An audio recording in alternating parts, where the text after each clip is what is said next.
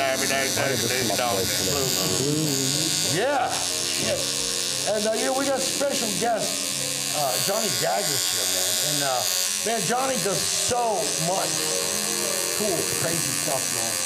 Um, we're gonna turn it over to Johnny Daggers for a minute and uh, have him uh, tell y'all what he does, man.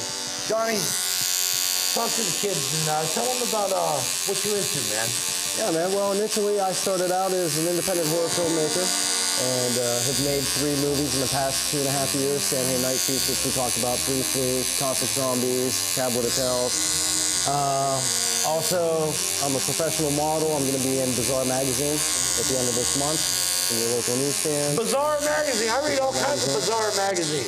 Yeah. Yeah. Uh, let's see. I'm also the lead keyboardist for the industrial band Brittany Bordella. Uh, body piercer, Sick Ink. Trying to think of what else. I'm sure there's something I'm leaving. yeah, you know what I'm leaving else? something out, aren't I? Well, what Aren't else? you a superhero too there? I saw you uh, fighting crime there on the parking lot, man. What the hell's going on? And hey, let's get another look at the top of your head, man. Take that hat off one time. Yeah, man. We got, we got to see this. Look at that, man. Now that's art. They see he got stuff tattooed on his skull. I'm getting a skull tattooed on my arm. See what you can do with art, kids.